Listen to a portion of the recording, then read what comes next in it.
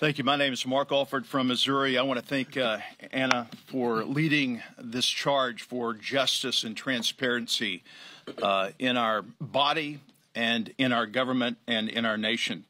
Uh, recently, the Department of Justice under Attorney General Merrick Garland has displayed a blatant disregard for this body. By refusing to comply with two lawful subpoenas, Attorney General Garland has violated our authority and undermined the integrity of this institution. Earlier this month, we voted to hold Attorney General Garland in con criminal contempt of Congress. However, the Department of Justice informed Speaker Mike Johnson that they would not prosecute the AG for this contempt. This response, while expected, sets a dangerous precedent.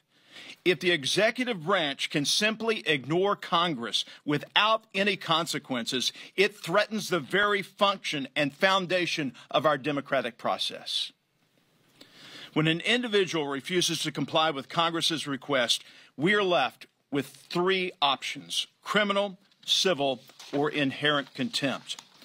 Now, both criminal and civil contempt rely on the executive branch for enforcement, which clearly is not going to happen in this case. The founding fathers designed our government to protect our freedoms, to stand against tyranny, and to combat an all powerful executive branch. Inherent contempt is our constitutional authority to hold individuals accountable directly. This power allows Congress to detain and try individuals who defy, to defy our subpoenas. It is a crucial tool that ensures we can fulfill our legislative responsibilities independently. In the House Rules and Manual, the 118th Congress, Jefferson's Manual, you can find inherent contempt mentioned in pages 141 through 147. Inherent contempt has been used by the U.S. House of Representatives more than 100 times since 1795 and upheld by the Supreme Court of the United States of America.